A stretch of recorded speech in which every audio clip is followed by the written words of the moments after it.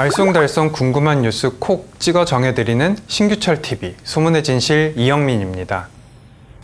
여름도 다 갔는데 최근 때 아닌 벌레주의보가 내려졌죠. 스치거나 건드리기만 해도 화상을 입은 듯한 고통을 준다고 해서 일명 화상벌레라 불리는 청딱지 개미 반날개. 전국 여기저기서 발견되면서 공포의 대상이 되고 있는데요.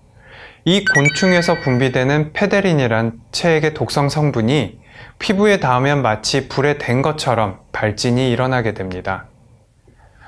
화상벌레를 발견하면 어떻게 해야 될까요?